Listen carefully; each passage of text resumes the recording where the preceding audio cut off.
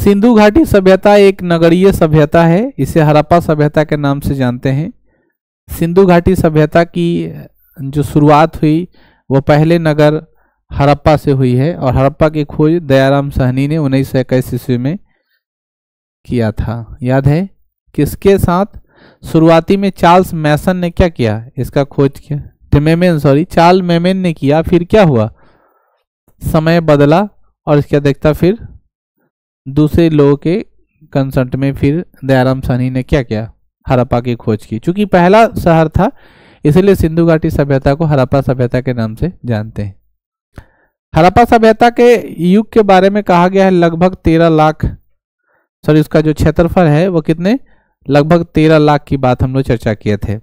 हड़प्पा सभ्यता की जब हम लोग चौहद्दी की बात करें, जिसको हम लोग उत्तरी, दक्षिणी, पूर्वी और पश्चिमी की बात करते हैं तो उत्तर में जम्मू, कश्मीर और इसके पूर्वी क्षेत्र में उत्तर प्रदेश, ठीक है?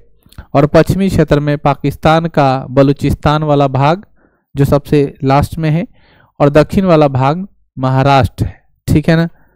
मैंने आपको कहा था कि जब हम लोग बात करते हैं जम्मू, कश्मीर में तो जम्मू, कश्मीर में एक जगह है, जिसका नाम है मांडा, ठीक है ना? जिसको हम पांडा कह दिए थे, ठीक है ना? और उस मांडा पे हमारा दक्षिणी पूरा का पूरा उत्तरी छोर है जबकि पश्चिमी में उत्तर प्रदेश का बहुत ही फ़ेमस जगह है। क्या नाम है बच्चों? आलमगीरपुर और पूरे पश्चिम में सुतकोडरा ठीक है ना जो बलूचिस्तान का भाग। ये पढ़ाए थे? और दक्षिणी भाग में कौन सा? नर्मदा नदी का स्त्रेंथ है ठीक है ना। या पहले तो बताया गया था नर्मदा नदी लेकिन सबसे न, जो आखिरी जो क्या नाम है उस नदी का? ठीक है ना, प्रवरा नदी, ठीक है ना? प्रवरा नदी पर वो जो आखिरी जो सबसे दक्षिणी जो इसका क्षेत्र है, वो मिलता है। ये हम लोग चर्चा किए थे।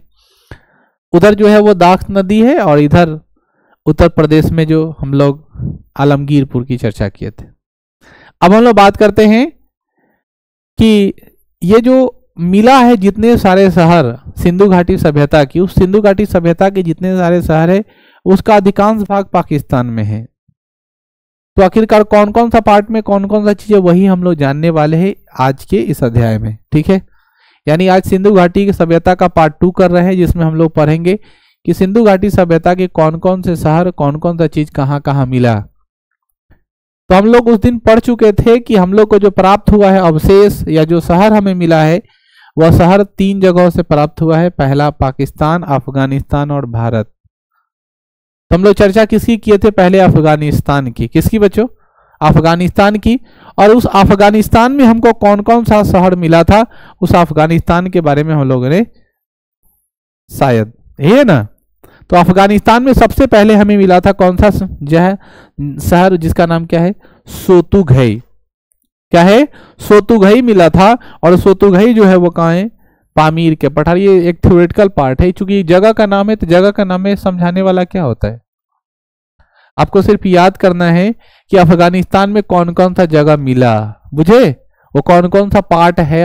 जैसे मान लीजिए ना कि ये कभी बाँध हुआ करता था, इस बाँध के इलाके को फलाना गाँव कहते थे, लेकिन ये बंटवारा हो गया। तो उस भाई के हिस्से में क्या पड़ा? उस भाई के हिस्से में क्या पड़ा? ठीक उसी प्रकार है। कि पहले तो अखंड भारत था, लेकिन जब समय के अनुसार सब टूट फूट के अलग हुआ तो आज अफ़गानिस्तान है, आज पाकिस्तान है, भारत का कुछ भाग है। तो अफ़गानिस्तान के भाग में पहला भाग हम लोगों ने चर्चा किया। दूसरा भाग जो आप लोगों को मिला है बच्चों, उसका नाम क्या है? उसको बोलते हैं अलिंद देपे, लिखा हुआ है ना? अलिंद देपे अलिंद देपे। समझ में आ गई? ये हिंदू कुश पर्वतमाला और कुनुकुल पर्वतमाला पर्वत का पठार जो हम लोग को मिला हुआ है, इसी का तीन पार्ट है। ठीक है? जो आप लोग को हम पढ़ा रहे थे अभी कि अफ़गानिस्तान में जो हमको पहला जो पार्ट मिला है, उस पहले पार्ट का नाम है सोतु घई। समझ रहे हो? और इस सोतु घई जो है, सबसे पहला कहा मिला? पामीर का पठार। और यही पामीर का पठार का जो हमको पहला पार्ट मिला है, वह हिंदू कुश पर्वतमाला और कुनुलून पर्वत। अब समझ में आ गया? यानी वही क्षेत्र पठार का ये दो पार्ट है, इसी पार्ट पे वो उस एरिया हमको मिला। क्लियर है? नेक्स्ट, कौन सा है बच्चों? पाकिस्तान। पाकिस्तान की राजधानी इस्लामाबाद आतंक का देश इक्वल टू पाकिस्तान, जिसका स्ट्रक्चर कुत्ता से मैच करता हो, ठीक है? जिसकी भौगोलिक स्थिति कह सकते हैं, जिसका मैप देखिएगा, वो एकदम कुत्ता जैसा है, ठीक है ना? मौका मिले पाकिस्तान के बारे में। भारत का इतिहास संभाले नहीं आ रहा। पाकिस्तान का इतिहास कौन पढ़ेगा? ऐसे भी ससुरा का इतिहास है कहाँ? तो उन्नीस में बाबा के सामने पैदा हुआ है, ठीक है? उन्नीस में, ठीक है ना, दादाजी की उम्र से उसका कम उम्र है पाकिस्तान का तो उसके बारे में क्या पढ़ा जाए? भारत अखंड भारत रहा इसका इतिहास तो समझ रहे हैं ना, पाँच लाख ईसा पूर्व से शुरू कर चुके हैं। और अभी हम लोग कहाँ तक बुआ रहे हैं? 1750 उसी 1750 में हम लोग सिंधु घाटी सभ्यता पढ़ रहे हैं क्योंकि सिंधु घाटी सभ्यता काल कितना है बच्चों? 2500 ईसा पूर्व से लेकर के 1750 किसी किसी किताब में 2350 भी लिखता है। समझ गया ना? पाकिस्तान के तीन प्रांतों में हरप्पा सभ्यता का स्थल प्राप्त है। पाकिस्तान में कौन कौन प्रांत? तीन। पहला कौन? पंजाब। दूसरा कौन? सिंध। तीसरा कौन? बलूचिस्तान। ये सबसे पश्चिमी भाग है। नाम आपको याद है। सुतकुडरा यहाँ पे लिखा हुआ है, पंजाब में कौन सा जिला? मांट गोमड़ी जिला, पश्चिमी पंजाब, पाकिस्तान का एरिया, जो रावी नदी के तट पर स्थित है। किस नदी के? रावी नदी का। सिंध पार्ट अभी सिंध जो भाग मिला, उस सिंध में कौन कौन है? देखो ध्यान से। सिंध में पहला जो शहर मिला, उसका नाम है मोहनजोदड़ो। कौन जोदड़ो? मोहनजोदड़ो। मोहनजोदड़ो कहाँ है? लड़काना ज़िले में है। सिंध पाकिस्तान में पड़ता है। मोहनजोदड़ो शब्द का अर्थ होता है प्रेतों का टीला, मैंने कल समझा रखा था। मोहनजोदड़ो का अर्थ होता है मृतकों का टीला, प्रेतों का टीला, भूतों का टीला। समझ में आ गया? अरे वहाँ लाश जलने के प्रमाण मिले हैं। वहाँ स्नान घर मिले हैं, ठीक है ना? इसीलिए। यहाँ पे देखो मोहनजोदड़ो सिंध का बाग भी कहते हैं। क्या कहते हैं? मोहनजोदड़ो को सिंध का बाग क्वेश्चन पूछेगा कि सिंध का बाग किसे कहते हैं? मोहनजोदड़ो चनहुदरो के। बारे में सुन लीजिए। तो चनहुदरो एक जगह मिला, को डीजी मिला और अमड़ी मिला, ठीक है? यानी पंजाब में मंड गोमड़ी जिला, पश्चिमी पाकिस्तान मिला, रावी नदी के तट पर। दूसरा क्या मिला? मोहनजोदड़ो मिला। मोहनजोदड़ो तीसरा कौन मिला? चनहुदरो मिला। चौथा कौन मिला? को डीजी मिला और चौथा मिला अमड़ी। सुनाई दे रहा है। जैसे अफ़गानिस्तान का पहला दो पार्ट था, उसी तरह पाकिस्तान का जो सिंध भाग है, उसमें आपको चार शहर मिले। कितने शहर मिले? चार। पहला का नाम मोहनजोदड़ो दूसरा का नाम चनहुदरो तीसरा का नाम कोट डीजी और चौथा का नाम अमड़ी। अब समझ में आ गया? उसी तरह हमको तीसरा पार्ट जो पाकिस्तान का है, बच्चों, उसका नाम हमने रखा बलूचिस्तान। क्या नाम रखा? बलूचिस्तान, जो सिंधु घाटी सभ्यता का सबसे पश्चिमी छोर है। ठीक है? और बलूचिस्तान में हमको पहला मिला सुतगोडर, जो किस नदी के तट पर है, ये आपको पहले बता दिया हुआ, दास नदी के तट पर। दूसरा का नाम मिला सोत काको सादी कौर नदी के तट पर, और तीसरा मिला बालाकोट, बिंदार नदी के तट पर। समझ में आ गया? यानी पाकिस्तान में कितने पार्ट हैं? तीन पार्ट। पहला पंजाब, दूसरा सिंध और तीसरा बलूचिस्तान। जो पंजाब वाला पार्ट मिला वो मंडगोमड़ी जिला में मिला, जो मैंने आपको ऊपर पढ़ाया, जो रावी नदी के तट पर है, ठीक है? जबकि सिंध वाले में पहला मिला मोहनजोदड़ो, दूसरा मिला चनहुदरो तीसरा मिला कोटडीजी चौथा मिला अमड़ी। समझ में आ रहा है अब? और जो भारत, बलूचिस्तान का जो तीसरा पार्ट, जो पाकिस्तान का जो तीसरा पार्ट है, बलूचिस्तान, वहाँ पे हम लोग को मिला सुतगोडर, जो दास नदी किनारे पे है। सुत काको सादी कौर नदी किनारे है और बालाकोट, किस नदी किनारे? बिंदार नदी किनारे। समझ में आ गया? अब चर्चा करते हैं बच्चों, किसकी? भारत की। किसकी? भारत के बारे में तो आप लोग जानते हो, भारत का एक बहुत फ़ेमस जगह है, जो पहले आप लोग जानते हो, पूर्वी भाग। कौन सा? उत्तर प्रदेश। वो तो होबे करेगा। दक्षिणी भाग में मुंबई फंसा था। है कि नहीं? देखो कौन कौन राज उत्तरी भाग में कौन फंस गया था? जम्मू, कश्मीर। तो ये तो तीन ऑलरेडी क्लियर है। ठीक है? तो यहाँ पे समझो कौन कौन राज्य है। तो भारत में सात राज्यों के हड़प्पा सभ्यता के पूरा स्थल प्राप्त हुए। कितने राज्य तो हमको तो इतना दिमाग लगाना है, अगर मैप ठीक ठाक हो तो कि सबसे पूर्वी उत्तर प्रदेश हो गया तो उत्तर प्रदेश से पहले ही कौन होगा? बात समझ में ऐसा नहीं कोई कह देगा कि पश्चिम बंगाल के उत्तर प्रदेश के बाद पड़ता है पश्चिम बंगाल तो वहाँ तो नहीं जाएगा। और सबसे उत्तरी जम्मू कश्मीर बोल दिया तो ओकरा पहले ही होगा, ओकरा ऊपर नहीं हालाँकि ओकरा ऊपर नहीं है। और सबसे दक्षिणी बोला है तुमको महाराष्ट्र महाराष्ट्र के बाद केरल में नहीं तरपेगा उधरे रह जाएगा। समझ में आ रही? दिमाग की बात है। इतने दूर में गोल गोल गोल गोल घुमा होगा। तो देखो, मैप के सहारे हम लोग देखेंगे। मैप समझना कितना ज़रूरी होता है। जब भारत की मैप आप देखते हो तो जम्मू कश्मीर पहला, ऊपर से नीचे की तरफ़ बढ़ रहा है। कितना होशियार वाली बात किया है ये। ऊपर से नीचे बढ़ेगा तो पहला क्या मिलेगा? जम्मू कश्मीर। दूसरा कौन सा मिलेगा बच्चों? दूसरा मिला आपको पंजाब और नीचे घस का। उसके जस्ट नीचे कौन? हरियाणा। फिर उधर घसक गया, राजस्थान। फिर इसी के नीचे और उतर गया। मैप समझ में आ रहा है ना? पहले जम्मू कश्मीर, पंजाब, हरियाणा। हो गया? फिर राजस्थान, फिर गुजरात। नीचे उतर गया? अब राजस्थान के बाद गुजरात होता है, उसके बाद और नीचे उतर गया महाराष्ट्र। तो ये तो तीनों कनेक्टेड है। और एगो हमारा सबसे पूर्वी प्रदेश कौन? उत्तर प्रदेश। यही ना बुआ, भारत में मिलने वाला जगह। इसके अलावा हमको कहीं नहीं मिला तो नहीं मिला। अब नाम याद करना है बहुत आसान है मैप का। एकदम सीधा याद रखो, ये तुम्हारा भारत का मैप है, ऊपरी छोर। हमको ज़्यादा इधर उधर नहीं जाना है भैया। और जब ऊपरी में तुम जा रहे हो तो एक बार अपना मैप दिमाग में सेट करो, ये तुम्हारा जम्मू कश्मीर का इलाका। ये है तुम्हारा पंजाब, ये है तुम्हारा हरियाणा। है ना रे? और इसी के नीचे वाला भाग तुम्हारा क्या मिला? राजस्थान इसी के नीचे वाला, गुजरात इसी के नीचे वाला, महाराष्ट्र। मिल गया? और यहाँ तुम्हारा क्या है? उत्तर प्रदेश इससे ज़्यादा कहीं जाने की ज़रूरत नहीं। भारत में। पाकिस्तान वाला इलाका ये वाला है। पाकिस्तान वाला इलाका में वो क्या मिला? बलूचिस्तान। क्या मिल गया? पंजाब का इलाका इधरे होगा, सिंध का इलाका इधरे होगा। समझ में आ गया? तो पंजाब के इलाका में हमको मंड मंडगोमरी जिला मिला था। और जो हमको सिंध वाला इलाका मिला उसमें चार गो जो मिला मैंने आपको पढ़ा दिया था, और सबसे आखिरी बलूचिस्तान में मिला जो मैंने आपको समझा समझ में आ गया? तो बस मैप आपको समझना आपको सब समझ में आ गया। यही आसपास में ही एकड़ा नहीं, इन्ने बड़ा लेना इन्ने बड़ा ले, कहीं नहीं जाना है। आधा पार्ट उन्हें देखे तो जब आप फेयर करिएगा, नोट्स बनाइएगा तो वहाँ पे क्या करिएगा? मैप अपने से बनाइएगा, आधा काटिएगा मैप को, और ऐसे बना लीजिएगा, यहाँ ये यहाँ ये यहाँ ये, ताकि आपको दिमाग में जल्दी सेटल हो। बात समझ में आई? आधा पार्ट काट के किस क्षेत्र में कहा जा रहा है। ठीक है? अब देखिए हम लोग आगे बढ़ते हैं इसके।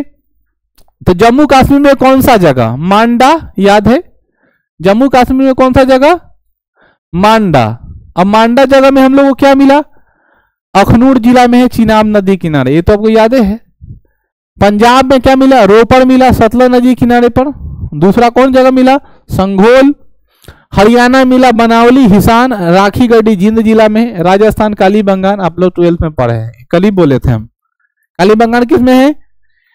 गंगानार जिला घग्गर नदी के तट पर स्थित है। यानी आपसे क्वेश्चन पूछेगा काली बंगान किस नदी के तट पर स्थित है? तो घग्गर नदी। सरस्वती नदी की कहानी सुनिए। सरस्वती नदी दो पार्ट में बहती है। पाकिस्तान में जाएगी, उस नदी का नाम है हाकर नदी, और भारत में रहेगी, उसका क्या नाम है? घग्गर नदी। अब समझ में आ गया? ये जो सरस्वती नदी है, उस सरस्वती नदी दो पार्ट में बट चुका है, ठीक है ना? और अगर मान लो है हीरो हुंडा, कौन हुंडा? हीरो हुंडा, टूट गया, इन्ने बन गया हीरो, इन्ने बन गया हुंडा, ठीक है ना? यह सरस्वती नदी, टूट गया, पाकिस्तान में हाकर नदी और इधर घंगर नदी। यही जानना है आपको, और कुछ नहीं। तो इन सभी चीज़ों के बारे में हम लोगों ने जान लिया, अब हम लोग आगे बढ़ते हैं। किस राज्य के बारे में जाने हैं? तभी तक गुजरात के सॉरी किसके बारे में पढ़े? जम्मू कश्मीर के बारे में पढ़े। अब हम लोग कहाँ पहुँचते हैं? पंजाब के बारे में। पंजाब के बाद कहाँ पहुँचते हैं? गुजरात। राजस्थान भी हो गया था तो गुजरात। अरे, जम्मू कश्मीर, पंजाब, राजस्थान। ठीक है ना? तो हम लोग राजस्थान करने वाले। हरियाणा ही बता दिए थे क्या? अब देखो। गुजरात में हम लोग क्या मिला? स्वतंत्रता प्राप्ति के पश्चात हड़प्पा सभ्यता में सबसे अधिक जो हम लोग को देखने को मिला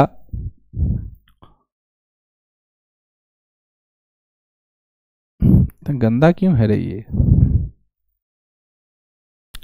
स्वतंत्रता पश्चात जैसे हम लोग का देश जब आज़ाद हुआ, स्वतंत्रता प्राप्ति के पश्चात हड़प्पा सभ्यता में सबसे अधिक पूरा स्थल गुजरात राज्य में खोजे गए। क्वेश्चन यहाँ से एक बन चुका है, जो गोल गोल घुमा हुआ है। क्वेश्चन पूछेगा, सबसे अधिक हड़प्पा सभ्यता के नगर कहाँ खोजे गए? पाकिस्तान में। कहा खोजे गए? पाकिस्तान में। अब क्वेश्चन पूछेगा कि सब स्वतंत्रता के प्राप्ति के बाद सबसे अधिक हड़प्पा सभ्यता के क्षेत्र कहाँ खोजे गए? गुजरात में। कहा खोजे गए? समझ में आ गई बात? ये समझना है। तो गुजरात में स्वतंत्रता प्राप्ति के पश्चात हड़प्पा लाइन लिखा हुआ है ना? ऐसा ही नहीं लिखा हुआ है। इसका मतलब लिखा हुआ है। अच्छे से पढ़िए। स्वतंत्रता प्राप्ति के पश्चात मतलब देश आज़ाद हो गया उन्नीस के बाद। ठीक है ना? तो सबसे ज़्यादा कहा मिला? गुजरात मिला। जैसे कच्छ का रन, खंभात और सौराष्ट्र। सौराष्ट्र में बच्चों सोमनाथ हैं। गुजरात में ही कौन है? सोमनाथ भगवान शंकर का जो द्वादश ज्योतिर्लिंग है, उसमें से एक सोमनाथ भी है। सोमनाथ मंदिर का जो है स्वतंत्रता प्राप्ति के बाद जो निर्माण करने वाले व्यक्ति उनका नाम है सरदार वल्लभ भाई पटेल। बुझे? लेकिन उन, उनको देश को जो समर्पित किया गया है वो लगभग उन्नीस सौ बिरानवे तिरानवे के आसपास देश को समर्पित किया बना के। उसको कहा गया है कि सत्रह बार उस मंदिर को तोड़ा गया है। मोहम्मद गजनवी जब भी आता था तो वहाँ के मंदिरों को क्या करता था? लूट देता था तोड़ के हटा देता था। समझ में आ गया? लेकिन उस सोमनाथ मंदिर को बचाया गया। हिस्ट्री में आप लोग को हम पढ़ाएँगे आगे। तो वही सौराष्ट्र वाला इलाका है। बात समझ भाई कच्छ का रन, कच्छ का रन में क्या क्या मिला? सुन लो। यानी इसका एक्सप्ल गुजरात का ही पार्ट अभी चल रहा है। तो कच्छ के रन में मिला देसलापुर में, भुज जिला में है मादा नदी पर। वहाँ पे देखो सुत कोददा है। आयोग है सुत कोडरा वो है पाकिस्तान में। लड़का कंफ्यूज आ जाता है यही में। सुत सुत सुत कर रह जाता है। यह है सुट कोद कोतदा। यह भारत में, गुजरात में, किस एरिया में? कच्छ का रन में। घोड़ा नदी, हड्डी जो उसको भूज जिला में मिला हुआ है। धौलावीरा, कच्छ जिला मनसर एवं महना नदी के बीच अवस्थित है। बात करते हैं हम लोग खंभात में तो मिला लोथल। कौन मिला? लोथल। किस नदी पर? भोगवा नदी पर। किस नदी पर? अहमदाबाद जिला है। बहुत फ़ेमस इलाका है। और भोगवा नदी के तट पर है। भोगवा नदियों साबरमती के संगम पर। साबरमती नदी के बारे में तो आप लोग जानते हो। साबरमती आश्रम की स्थापना किसने की थी? महात्मा गांधी और उनके पत्नी मिलकर चलाते थे साबरमती आश्रम। कुछ रोगियों के लिए चलाया जाता था। भारत की सबसे गंदी नदी कौन है? साबरमती नदी। उसमें कोढ़ी सब स्नान करता है, जिसका स्किन पूरा पूरा एकदम सर मर गया रहता है। वह सब जाता है उसमें। कुछ रोगी का एक एरिया है वो, समझिए। तो साबरमती नदी के बारे में है। सौराष्ट्र, रंगपुर, मादर नदी के तट पर। किस नदी के तट पर? मादर नदी के। बात करते हैं महाराष्ट्र की। तो चौथा है, महाराष्ट्र हमको मिला दाइमाबाद। आप लोग को याद है, हम बोल दिए थे दामाद। याद आ रहा है ना? अगर नहीं याद रहे तो क्या याद रखोगे? दामाद। ठीक है ना? तो आपको याद हो जाएगा, महाराष्ट्र का दाइमाबाद अहमदनगर जिला में परवरा नदी किनारे, जिसको हम लोग गोदावरी नदी के नाम से जानते हैं। इस गोदावरी नदी को बच्चों हम लोग वृद्ध गंगा भी कहते हैं। कौन गंगा? वृद्ध गंगा या दक्षिण भारत की गंगा की उपाधि प्राप्त है। किस भारत की? दक्षिण भारत की गंगा। याद रखेंगे। गोदावरी नदी को क्या कहते हैं? दक्षिण भारत की गंगा। ठीक है ना? पंडित जी आएँगे मंत्र पढ़ेंगे। लोटा में जल रखवा देंगे गंगा जल उसके बाद कहेंगे हाँ, पल्लो लीजिए गोल गोल घुमाइए उसमें बोले ओम। गंगे च, जमुने चैव, गोदावरी। सुनाई दिया? यह गोदावरी नदी है जो दक्षिण भारत की गंगा है, ठीक है? तो गंगे च, जमुने चैव, गोदावरी, फिर सरस्वती। उन्हें करिया चल गया, आधा पाकिस्तान में बह के आधा बह रहा है। इन्हें घाघरा है, उन्हें करिया समझ रहे कि नहीं समझ रहे तो सरस्वती भी बढ़ चुका है और गोदावरी अब सबको लोटे में समा देते हैं, तय के दर में। ये सब बुद्धि है, देख रहे हो? एक बार मंत्र पढ़ा, लोटा में घुसी आ गया। बह रहा है कहा? तुरंत मोड़ देगा रास्ता। पावर कितना है? उत्तर प्रदेश, आलमगीरपुर, ये तो आपको याद है। मेरठ जिला में हिंडन नदी के किनारे सबसे पूर्वी भाग, केवल सात सैधव स्थल का नगर की संज्ञा दी गई, जो निम्न प्रकार है। जिसमें से जितने मिले, उसमें से सातों को नगर मिला। इतना जो हम लोग पढ़े, उसमें से मात्र सातों को नगर का उपाधि मिला कौन कौन हरप्पा, मोहनजोदड़ो चनहुदरो लोथल काली बंगान, बनावली और कौन सा? धलवीरा। बाकी सब क्या है? ग्रामीण। अब इस सबको हम लोग बारी बारी से क्या करेंगे? पढ़ेंगे। सुनाई दे रहा है। इन सातों के बारे में हम लोग को अच्छे से पढ़ना ज़रूरी है। अब यहाँ से कौन कौन चीज़ों के साक्ष्य मिले? किसने इसकी खोज की? इन सब चीज़ों के बारे में हम लोग जानेंगे। क्लियर है सबको? फिर से मैं रिपीट कर देता हूँ। पूरे सिंधु घाटी सभ्यता में जितने सारे हम लोग को जगह प्राप्त हुए उस जगह में से कितने? सात को हम लोगों ने क्या मिला? नगरों की संज्ञा दी गई, जिसमें पहला नाम क्या है? हरप्पा, मोहनजोदड़ो चनहुदरो लोथल, कालीबंगा, बनावली और धौलावीरा। अब नाम हम लोग शुरू करते हैं किसके तरफ़? पहला नाम। मैंने आपको कहा था, इसकी रिपीट बार बार हो रही है, हरप्पा की, क्योंकि सिंधु घाटी सभ्यता का परिणत नाम हरप्पा सभ्यता रख दिया गया था। दयाराम सानी ने उन्नीस सौ इक्कीस ईस्वी में जॉर्ज मार्शल के नेतृत्व में, ठीक है ना? चार्ल्स मेमन ने इसकी शुरुआत की थी, लेकिन जॉर्ज मार्शल ने इसका क्या किया? पूर्ण बखान कर दिया उनके नेतृत्व में। क्या हुआ? इसकी खुदाई शुरू हुई और दयाराम सानी को क्या मिला बच्चों? सफलता मिला। इसकी खुदाई पुरातत्व विभाग के निर्देशक, जिसको डायरेक्टर कहते हैं, पुरातत्व विभाग का अध्यक्ष भी तुम कह सकते हो वही अध्यक्ष साहब कौन थे? Sir John Marshall. के निर्देशन पर राय बहादुर दयाराम सहनी के द्वारा उन्नीस सौ इक्कीस में किया गया। नाम याद हो गया? हरप्पा की जो खुदाई की गई, हरप्पा पुरातत्व का जब खुदाई किया गया, उस समय के डायरेक्टर कौन थे? अध्यक्ष कौन थे? John Marshall. समझ में आया? कौन थे बच्चों? John Marshall. लेकिन इसकी पूरा जो शुरुआती जो जानकारी देने वाला व्यक्ति था, उसका नाम क्या था? उसका नाम था चार्ल्स मैमैन, ठीक है ना? लेकिन जॉर्ज मार्शल के पूरा एकदम, क्या बोल सकते हैं उसको? नाम हो गया, क्वालिटी थी, ज़्यादा फोकस में आ गया, ठीक है ना? जैसे मान लो किसी का कोई हेड होता है, इसका मतलब थोड़े कि वो दिन भर वही काम करता है। सपोर्टर भी तो बहुत ज़्यादा काम किया, लेकिन कहीं पे नाम किसको होता है? जैसे मान लो इसरो अगर चंद्रयान थ्री लॉन्च कर दिया तो उसके जो प्रमुख होंगे वो आके मीडिया के सामने मुखातिब होते हैं कि बहुत बहुत बधाई, चंद्रयान थ्री सफलतापूर्वक लैंड कर दिया गया है। तो क्या अकेले वो सारा काम किए होंगे? हमको तो लगता है कि उनका थोड़ा मोड़ा योगदान होगा। मेन योगदान तो होगा जो लैब में काम कर रहा होगा लगातार दिन रात। लेकिन क्या वो आके मीडिया के सामने मुखातिब होगा? वो शाबाशी बटरेगा? नहीं। कहने का मतलब कुछ लोगों का काम ही होता है जो मार्केट बनाने का। बाहरी लोग का जवाब देने का उसमें से हो सकते हैं डायरेक्टर लोग। ठीक है? वर्तमान समय में यह स्थल पाकिस्तान प्रांत के Montgomery Montgomery Punjab के रावी नदी के किनारे पर स्थित है। इस स्थल में निम्नलिखित अवशेष प्राप्त हुए। पहले ई छोड़ो, पहले ई याद रखो। आपको पढ़ाए थे ना कि पाकिस्तान में कौन इलाका? पंजाब। कौन सा इलाका? पंजाब में कौन जिला? मंटगोबरी जिला। मंटगोमरी जिला में कथी मिला है? ये है। रावी नदी किनार पर हरप्पा मिला। कौन मिला? हरप्पा कह रोई बारा बहु।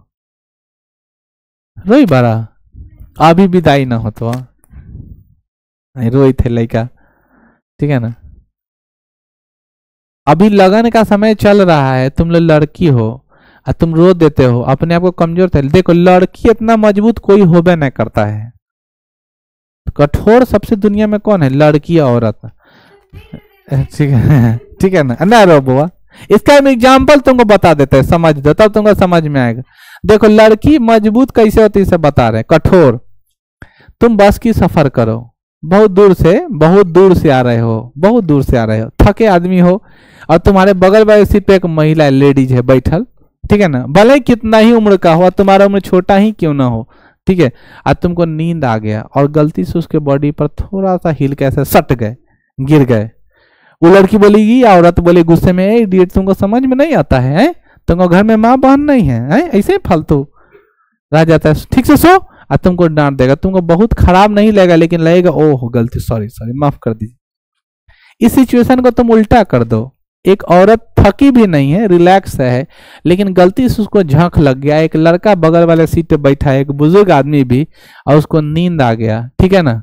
और उसके कंधे पर वो सो गई। तो उसको जाना है, ज़ीरो माइल पहुँच जाएगा दरभंगा, लेकिन सुतैले रहेगा। अब फिर उठेगा, तब बोलेगा, कोई बात नहीं, कोई, सही है सही है, और सही है। बात समझ में तुम ट्रेन में चले जाओ। एक औरत खड़ा होगा, झट से कोई जेंट्स उठ जाएगा, बोलेगा, बैठिए। लेकिन औरत को अगर तुम बोलोगे तो क्या घसकिए ना? तो ऐसे बोलेगा, औरत के साथ आप कैसे बैठ जाएगा? आपके घर में माँ बहन नहीं है। अरे, पगली माए बहन समझ रहे थे तो बैठने का बात कर रहे थे, पत्नी रहती तो उठा के फेंक देते बाहर। समझ में आया? तो कहने का मतलब यही समझिए, औरत जो है वो बहुत कठोर होती है। ये सब कहने का है कि कमज़ोर है। पुरुष जो होता है, पूरा समाज के बारे में सोचता है, ठीक है ना? कि सबका जिम्मेवारी है उसके पास। इसलिए रोइया नहीं, विदाई होगा, आज नहीं तो कल होगा, लेकिन अभी कोई दिन तारीख तय नहीं है, ठीक है? चलिए हम लोग पढ़ाई करते हैं। तो हड़प्पा के बारे में पढ़ रहे थे, सिंधु घाटी सभ्यता का नाम हड़प्पा सभ्यता रख दिया गया, उन्नीस सौ इक्कीस में दयाराम सहनी ने। चार्ल्स सॉरी जॉर्ज मानसर के निर्देशन में दयाराम सनी ने इसकी खुदाई कर दी और वर्तमान स्थिति में पाकिस्तान में इसकी स्थिति मिलती है। यानी हरप्पा कहाँ है? पाकिस्तान में। किस ज़िले में? मंट गोबरी ज़िले में। किस क्षेत्र में पड़ता है? पंजाब वाले क्षेत्र। समझ में आ गया अब? कौन से नदी किनारे पर? रावी नदी। तो क्वेश्चन यहाँ से बनाता है कि हरप्पा किस नदी किनारे पर है? रावी नदी किनारे पर। हरप्पा की खोज किसने की? दयाराम साहनी ने। कब की? उन्नीस सौ इक्कीस में। क्लियर है? हरप्पा का वर्तमान स्थिति कहा है? पाकिस्तान में। किस ज़िले में? मंड गोबरी का। कौन सा क्षेत्र पड़ता है? पंजाब। एम राइट अब क्वेश्चन यहाँ से पूछता है कि हरप्पा में कथी कथी मिला? खोदे तो कथी कथी मिला? पहले के भगवान सब अति बाघ का मूड़ी लगा लिया चूहा पर चढ़ रहा है, कोनो मोड़े पर उड़ जा रहा है, कोनो सांपे गर्दन ले ले कोनो आधे गर्दन बटा तो सब तो ठीक था। लेकिन जानने को यह मिला कि कोनो भगवान जो है वो खेते में से खोदला पर निकल गया। माता सीता का भी उद्गम होने वाला है, राम विवाह उत्सव होने वाला है, राम विवाह पंचमी होने वाला है। और आप सबको पता है कि माता सीता का उद्गम कैसे हुआ है? खुदाई से हुआ है। राजा जनक जब हल जोत रहे थे तो वो घड़ा मिला, घड़ा, उस घड़ा में से एक लड़की प्राप्त हुई। ठीक है ना? उसका नाम सीता था। बुझे? उसको हम लोग सिर पचही के नाम से जानते हैं, सिर पचही। ठीक है? जो फरवरी महीने में मनाते हैं, पहले के किसान लोग, खेत में आना, फ़सल लगा रहता था तो चौघटिया पर ले जाकर खेत जोतता था, लेकिन जोतता था। कितनी प्रथा थी। अब तो खत्म हो गया सब चीज़ें। अब इसी में आपको प्रमाण मिला तो खुदाई किए मिल गया तो हरप्पा में क्या क्या मिला? ये क्वेश्चन एकदम ऑब्जेक्टिव पूछेगा। एगो बना देता है क्वेश्चन निम्नलिखित में से कौन हरप्पा में मिला? निम्नलिखित में से कौन हरप्पा में नहीं मिला? निम्नलिखित में से कौन सा हरप्पा का अवशेष है? तो याद रखिए। अभी तक कोई बहुत ज़्यादा समझाने वाली बात नहीं आप लोग तो बहुत होशियार हैं। पहला नाम, कुम्हार का चाक। कुम्हार का चाक कहाँ मिला है? हरापा में मिला। श्रमिक आवास, लेबर का घर, जिसको हम लोग आज के समय में सलम बस्ती कहते हैं। सनम बस्ती नहीं, सलम बस्ती। ठीक है ना? होता होगा, सनम बस्ती भी होता है। हम लोग जिस एरिया में रहते हैं वहाँ से कुछ ही दूरी पर एक टोला है, जिस टोला का भौजी टोला कहता है। पता है तू लोग को? उसको पता है। लड़का है ना?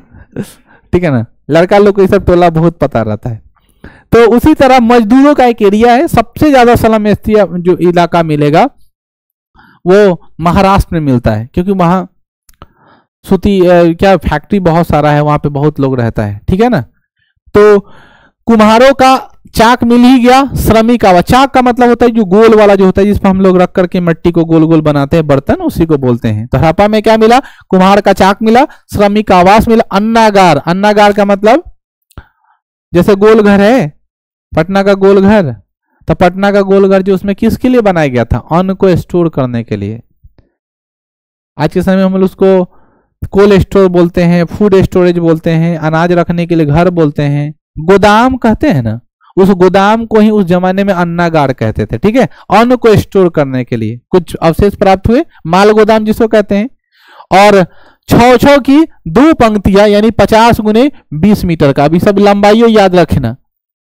कि अन्नागार की लेंथ कितनी मिली है? पचास गुने बीस मीटर की लंबाई का। तांबा का स्केल क्या मिला है? तांबा का स्केल मिला है, ठीक है? मातृ देवी की मूर्ति मिली है, उसके अलावा अनाज कूटने का ईंट का चबूतरा मिला।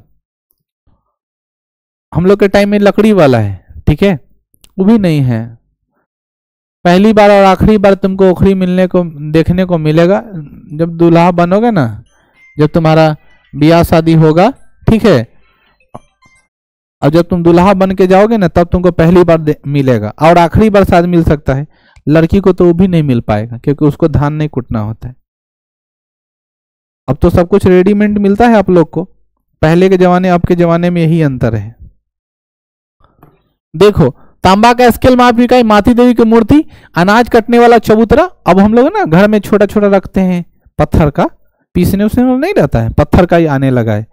तो उस तरह का वो चबूतरा मिला हमको।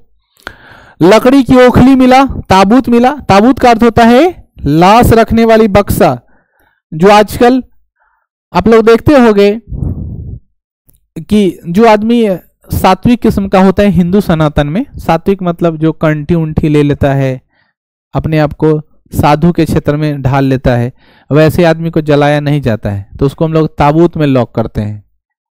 या जो क्रिश्चियन लोग जो होते हैं, वो लोग क्या करता है? ताबूत में लॉक करता है, सीधे डाल दिया। मुस्लिम लोगों में पैक तो नहीं करता है, लेकिन उन लोग को ले जाता है तो ताबूत में ही रख करके ले जाता है। आजकल विभिन्न शमशान घाट में भी लाश को क्या करता है? ताबूत में लॉक कर देता है और लेके जाता है। गाँव में बनता है, उसको बोलते हैं बच्चों, पचाटी।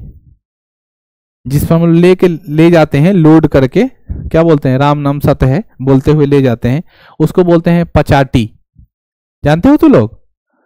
उसको बोलते हैं पचाटी। और जो बड़ा वाला बनता है, जिसमें पूरा लॉक रहता है, जैसे तुम आर्मी बन गए हो, शहीद हो गए हो, बड़े टाइप के नेता हो, और तुम्हारा दर्शन करने बहुत लोग आएँगे। अभी तो कुत्ता भी नहीं देखने आएगा, लेकिन अगर तुम हाई फाई आदमी बन जाओगे, ठीक है ना? तो तुम बन जाओगे तो तुम्हारे लाश को ताबूत में रख दिया जाएगा और मार फूलों की माला चढ़ा दिया जाएगा। तभी एक शायरी याद आती है हमको कि भले ही मेरा जन्म क्या हो, ठीक है? सिंपल हुआ हो, साधारण हुआ हो, लेकिन मैं मौत मशहूर चाहता हूँ, ठीक है? तो मौत मशहूर होने के लिए काम आपको बहुत मशहूर करना होगा कि फलाने जगह का डीएसपी मर गया है, शहीद हो गया है। फलाने जगह का सीईओ मर गया है, फलाने जगह का वीडियो मर गया है। ठीक है ना? ऐसा। वो अलग बात है कि गड़िया है कि सला भले मर गया, घुसखोर था। ठीक है ना? लेकिन थोड़ा हाई फाई टाइप का आदमी रहोगे तो वरना ऐसे मरोगे तो फिर वही बात है, गाँव का लोग कचौरी खा के रह जाएगा। ठीक है? भाई गधा की हड्डी कहाँ मिला है? हरप्पा में। ठीक है। गधा की हड्डी कहाँ मिला है? हरप्पा में। भाई देखो, घोड़े की बात, ठीक है, और गधे की बात।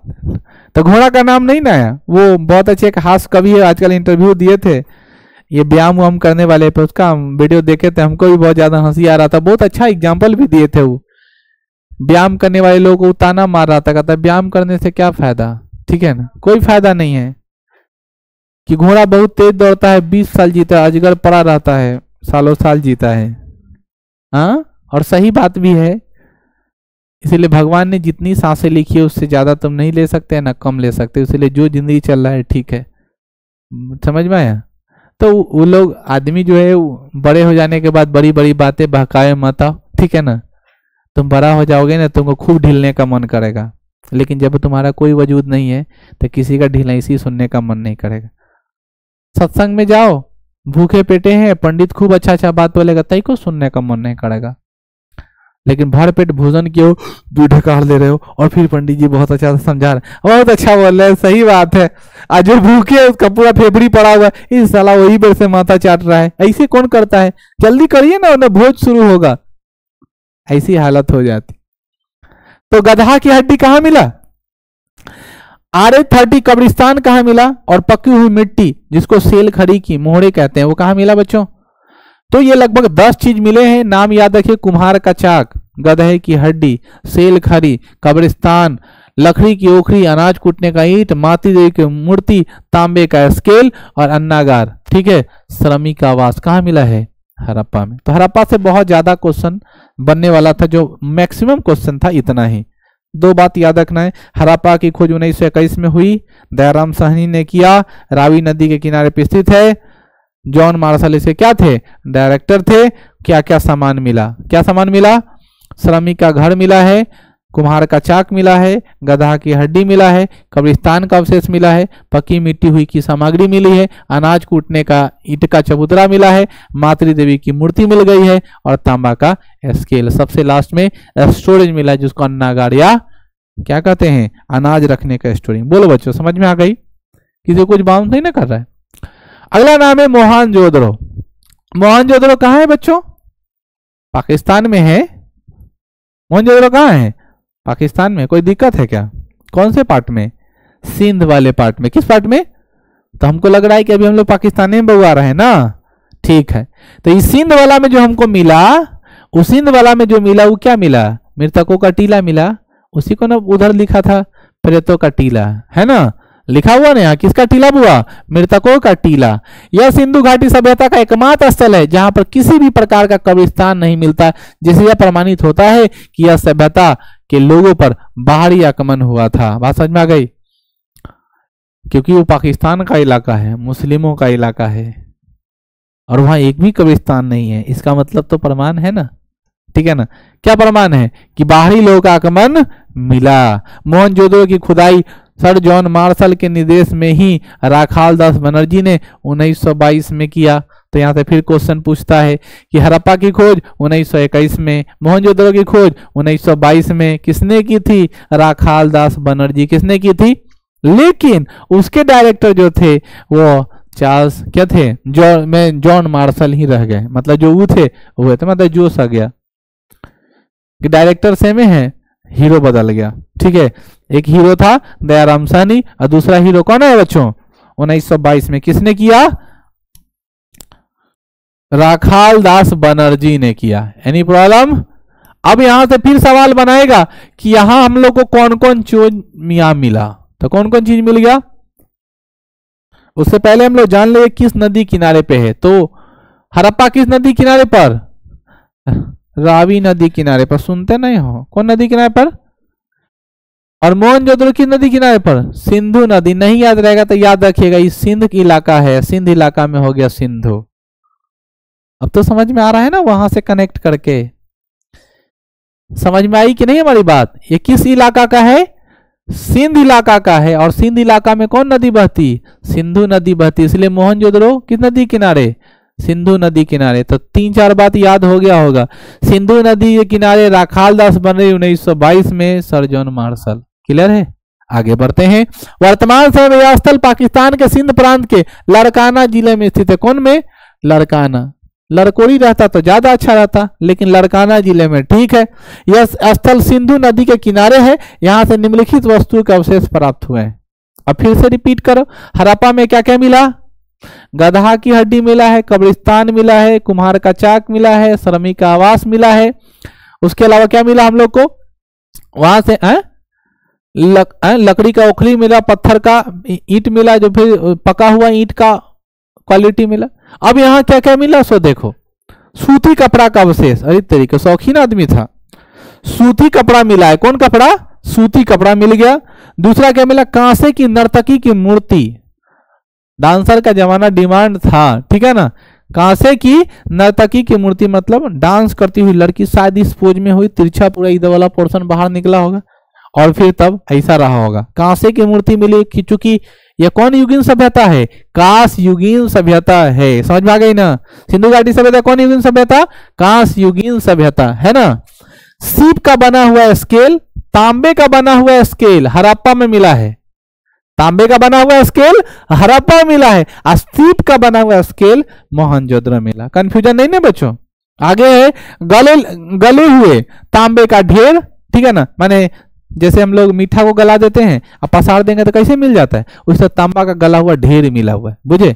यानी मन उकच गया होगा, तांबा का युग देखे देखे। बोले, हटाओ, गला एक सबके गला दे। गला दिया हुआ, काश का युग चलाने लगा होगा बुझे? क्योंकि तांबा इसलिए गलाया होगा कि तांबा को ही मिला, मिलाएँगे तब तो हमको काश तैयार होगा।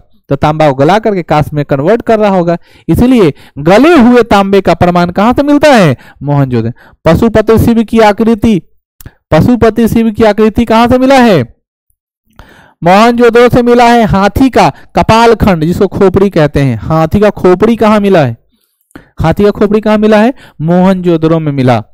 बृहद स्नान घर, याद रखना, सबसे बड़ा स्नान घर कहाँ मिला बहुआ तो अन्ना घर मिला है हरप्पा में। अन्ना घर कहाँ मिला है? अनाज रखने वाला, हरप्पा में। नहाए वाला मोहनजोदड़ो में। कंफ्यूज मत होइए।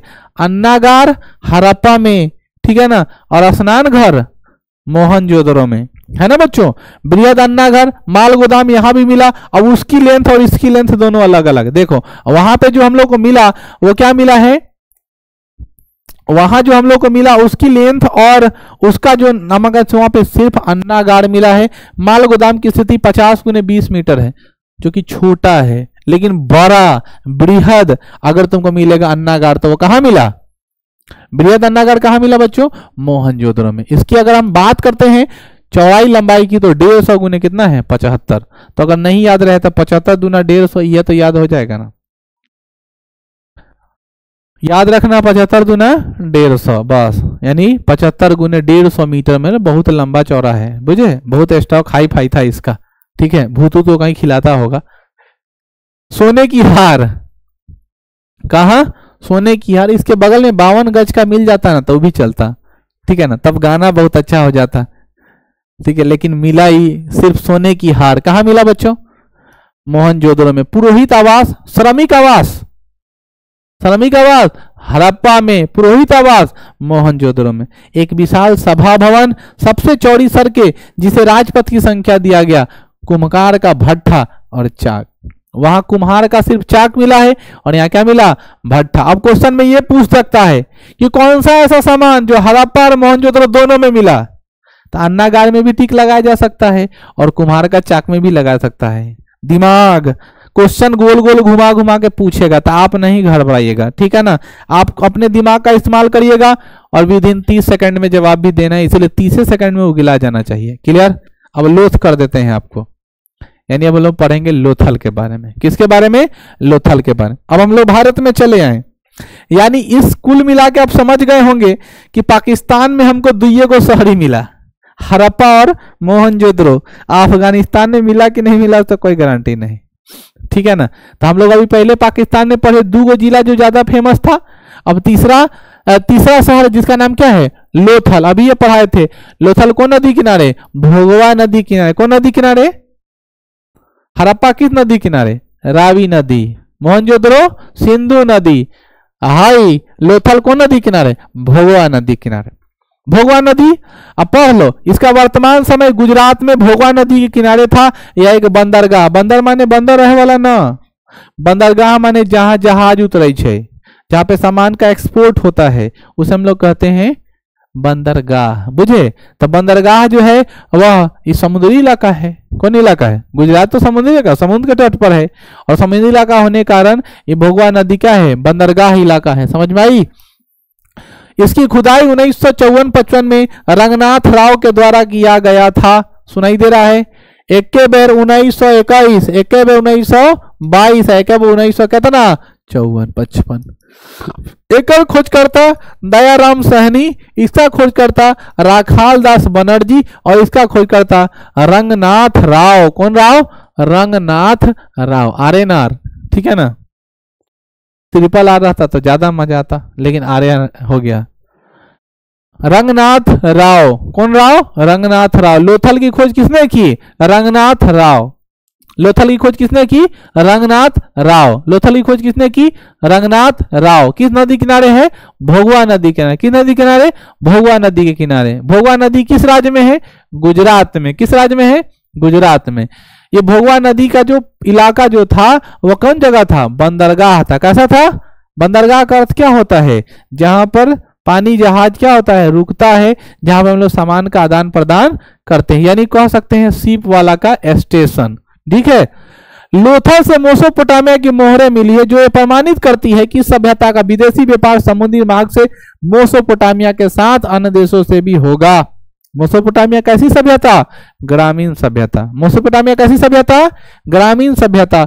और वहाँ से मोसोपोटामिया के मुहरे मिली है। इससे यह प्राप्त होता है, इससे यह प्रमाण होता है कि हमारा कनेक्शन, सिंधु घाटी सभ्यता का कनेक्शन या गुजरात का भोवा नदी का इलाका, जो लोथल वाला इलाका है, उसका कनेक्शन किससे रहा होगा?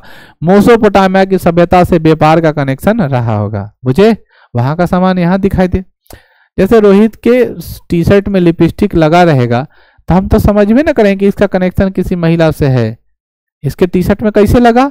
क्या इसके चेहरे मतलब क्या बोलते हैं, क्या शर्ट में बड़ा बड़ा बाल महिला का नज़र आएगा। अब वो महिला किसी रूप में हो सकती है, वो अलग बात है, लेकिन लगा तो है। उसी प्रकार मोहरे प्राप्त हुई मोसोपोटामिया की। मोसोपोटामिया का मोहर होने का ये प्रमाण मिलता है कि यहाँ व्यापार हुआ है। कहाँ से? विदेशी क्षेत्रों में। लोथल एक बहुत बड़ा गोदीवरा जिसको डाक या जहाजों का शरण स्थल भी मिला है है ना? मैंने आपको कहा ना कि जहाजों का शरण स्थल मतलब स्टेशन।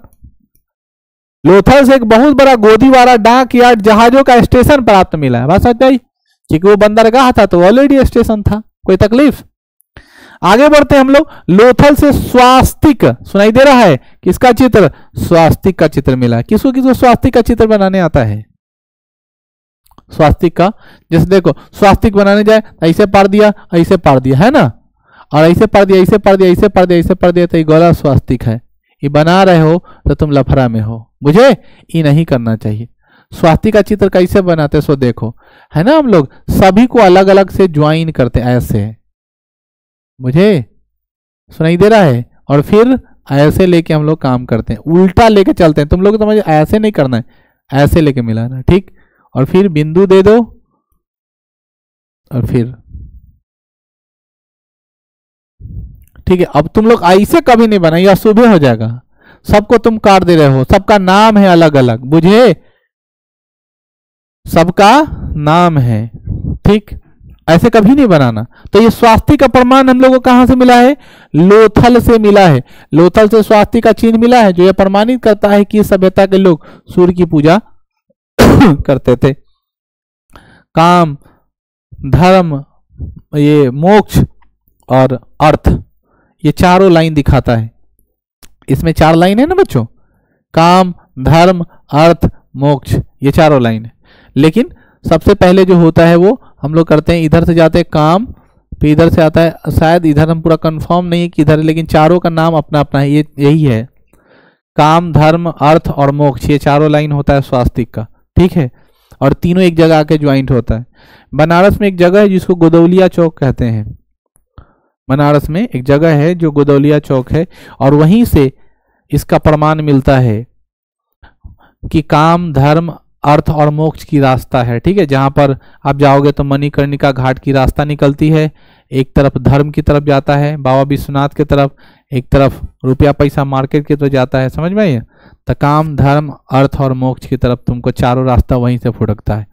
तो वहाँ पे स्वास्थ्य का बहुत अच्छा वर्णन किया गया है अलग अलग जगहों पर।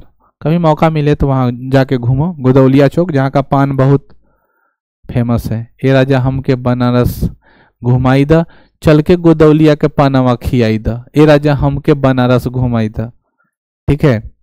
और वहाँ के कचौड़ी गली बड़ा मशहूर बा। तो वहाँ जाइएगा तो कचौड़ी गली बहुत मशहूर है, कचौड़ी जाके खाइएगा, हालाँकि बकवास लगता है। ठीक है ना? चलिए। आगे बढ़िए। यहाँ पे कहता है कि लोथल से युगल सावधान का प्रमाण मिला है। जिससे यह प्रमाणित होता है कि इस काल में सामाजिक व्यवस्था में सती प्रथा का प्रचलन था। अब देखो, युगल प्रावधान, जैसे सावधान मतलब जलाने वाला प्रथा। सती प्रथा में तो आप लोग जानते थे, मर्दवा के संग मौगियों के जलाना। ये पुरानी प्रथा है, हालाँकि ये अंधविश्वास ही कह सकते हैं। ये किसी का पति मर गया हो, पत्नी साथे साथे जाएगी। तो बात को तो कितना बार कहे हैं कि वो मरती होगी, जैसे ही उसका पति मरा तो ये लगे नहीं रोता होगा कि हमारा मर्दावा मर गया। ये लगी मर लगे बाप रे बाबा हमरों के झोंकारेगा। हमको लगता है कि पहले की पत्नी, इसीलिए अपने पत्नी जो अपने पति को परमेश्वर मानती है कि जहिया हमारे परमेश्वर खसका भैया हम खसक जाएँगे। इसीलिए किसी तरह हम कोनो व्रत करे, बट सावित्री करना हो हई तालिका तीज करना हो, जितना जियाने वाला पबनी है, सब करेंगे ले के न मर देंगे, क्योंकि एक में हमारे प्राण है। ये मरा तो हम गए। समझ में आई? आजकल तो फ़ैशन के लिए लोग करता है। ठीक है, हकीकत बात है। ये बात तुम मानो या ना मानो, दस परसेंट लोग ऐसे होंगे जो सात्विकता के हिसाब से धर्म में आस्था रखकर पूजा कर रहे होंगे। 99 परसेंट लोग वीडियो, फ़ोटो, ठीक है ना? यही लोग कर रहे वीडियो, फ़ोटो। हम, हो सकते हैं, हमारे परिवार के लोग हो सकते हैं, हमारी माताएँ, बहनें हो सकती इस बात से कोई गुरेज नहीं हमको।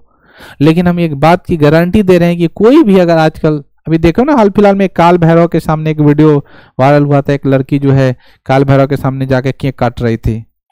तो बहुत हाईलाइट न्यूज़ आ गया था कि कम से कम भगवान को बस, बकस दो अब फ़ोटो वीडियो के चक्कर में। ठीक है कि बर्थडे जाके ओकरा सामने बोला है अकाल भैरव के मुँह में ठूस रहा है। हैप्पी बर्थडे आ, वीडियो बना रहा है। ये क्या चल रहा है सीन स्थिति बहुत खराब है भाई देश की। ठीक है ना? आ, सच्ची है? वही मतलब वीडियो के चक्कर में कि भगवान को दिखा रहे हैं मतलब देखे, लोग जाने कि हमारे पास, जैसे मान लो कि भारत का फ़ेमस मंदिर हो सकता है, काशी विश्वनाथ, केदारनाथ टेंपल बहुत फ़ेमस है, तिरुपति बालाजी फ़ेमस है, जिससे गर्भगृह में जाना मुश्किल है। और मान लो कि हम केदारनाथ गए और केदारनाथ के अंदर गर्भगृह में एकदम शंकर भगवान के सामने गए, वहाँ पर हमारा पूजा अर्चना हो, उसके साथ मेरा फ़ोटो हो, क्योंकि सब लोग जाता है, और धक्का मार के हटा, देख लिया हो गया। यही होता है। लेकिन अगर तुम अंदर चले गए, खूब अच्छे से होता तुम समझोगे ना, वाह, सर पावरफुल आदमी गए और वहाँ डायरेक्ट एकदम दर्शन हुआ। यही होता है ना, आजकल दिखावा। जबकि हमको दिखाना नहीं था, हमने दर्शन कर लिया, बड़ी मन तृप्त हो गया। हम पिछले बार बाबा धाम गए थे, प्रवीण तो लंबा है, वो तो किसी तरह एकदम चला गया। हमको कोई उपाय नहीं बुझाते एगो आदमी का टांगे में घुस गए। अंदर का गुरु गए उसी में गए बाबा का हड़पा जाए पकड़े, ठीक है? पकड़े हमको पुलिस उठा रहा हम उठिए नहीं रहे। पूरा जैकेट उकेट पूरा भिजल क्या बढ़िया से मिले। तो एक तरह का खुशी होता है। अब उसको हम नहीं दिखा सकते क्योंकि वहाँ पे कैमरा वीडियो कैमरा वाला था ना। लेकिन जो हमको खुशी मिला वह खुशी का इजहार नहीं किया जा सकता। तो वो जो क्षणिक खुशी है उसको हम लोग दिखा रहे हैं। हो सकता है किसी को अब ज़्यादा खुशी भी मिले उससे किसी को तकलीफ़ भी हो जाए। हम्म, बड़ा देखो इधर चेकड़ा कोई काम ना रहता है। ठीक है ना? तो ये सब बात पर आपको ध्यान देना है। ज़्यादा दिखावा के फेर में नहीं रही है। ठीक है? जो चल रहा है उससे बचिए। ठीक है? तो इसमें यही बात है, सावधान की। यानी सती प्रथा का प्रमाण कहाँ से मिले हैं? लोथल से मिले हैं। एक साथ पति पत्नी को जला देना है। ऐसा प्रथा होता कि शुरू से ही कि पति नहीं अगर मर जाए तो पति को भी साथे साथे, ठीक है ना, कर दिया जाता। उसका भी सवगिरी मतलब खत्म। तो हमको लगता कि पत्नी को भी लोग भगवान मानता, उसको भी एक दूसरे का साथी। मतलब रूल बनाना चाहिए था दोनों का बराबर बनाना चाहिए था कि एक दूसरे को क्या है? बॉन्डिंग रहता बहुत अच्छा और आगे बढ़ता, लेकिन गलत किया, बनाने जो भी वाला हो। तुम लोग तो लड़ाई लड़िए रहे हो, अब तो यहाँ तक चले आए, ठीक है ना? मरे चाहे जिए उससे क्या मतलब? उस बोले ना, उस बेटे वाले पे क्या बीतता हुआ कि नया नया किसी का शादी हुआ रहता है? संजोग उसका बेटा मर गया, चार दिन, पाँच दिन। छठा दिन नहीं बीता कि सातवां दिन उधर से आदमी आ जाता है। कि जो जो पैसा दिए थे गहना उना दिए थे बेड वुड का सामान दिए थे, सब दे दीजिए।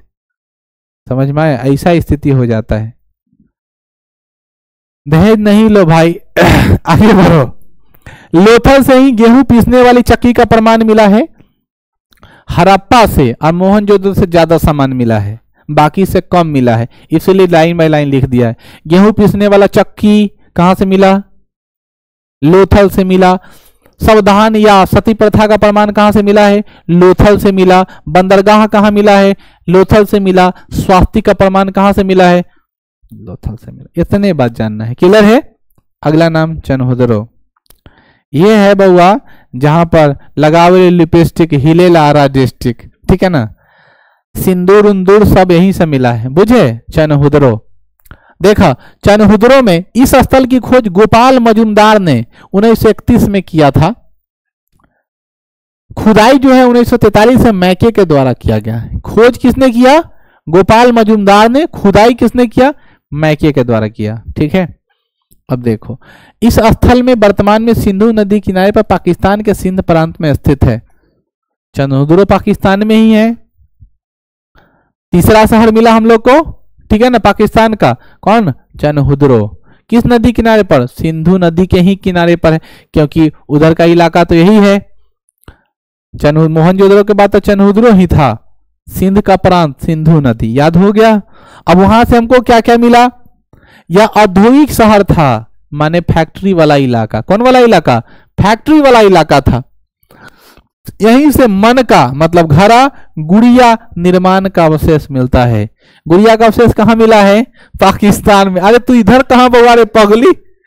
अच्छा इसीलिए इतनी गोली दिखती है। पाकिस्तान का हारमोन वहाँ से नज़र आ रहा है। ठीक है ना? पाकिस्तानी लोग बहुत सुंदर होते हैं, उसमें यह भी है। पूरा गुड़िया की तरह दिख रही है। तो गुड़िया का अवशेष कहाँ मिला भाई? मन का मतलब घरा गुड़िया का निर्माण का अवशेष कहाँ से मिला है? यहाँ से चनहुद्रो से मिला है। प्राक सैधव। दूसरा का नाम है, झूकर झांगर संस्कृति के भी अवशेष मिलते हैं। चनहुद्रो से श्रृंगार बॉक्स कौन बॉक्स मेकअप किट जिसको तुम बोल सकते हो, श्रृंगार का बक्सा मिला है, ये सब याद रहेगा। ठीक है ना? जिसमें एनक मिला है, कंघी मिला है, काजल मिला है लिपस्टिक मिला है, सिंदूर मिला, सब रखा हुआ था। ये कहला जो खोज करता किया उसके जा, अल्ले जी अपना मऊगी के दिखाइए लगाइए स्नो पाउडर पहले के जमाने में जब महिला लोग का शादी वादी होता था तो एक ब्राउन कलर का, तुम लोग शायद वो युग नहीं देखे होगे। हम लोग देखे हैं, उसके पहले वाला क्या होता था नहीं पता। तो उस टाइम में एक बड़ा सा मेहरून कलर का प्लास्टिक का बड़ा सा डब्बा होता था।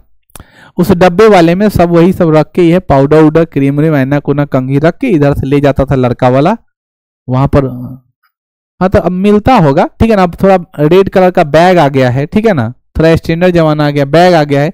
अब लोग कहता है, वो सब कचरा है उस सब का लेने का ज़रूरत नहीं था, वो सब खत्म हो गया।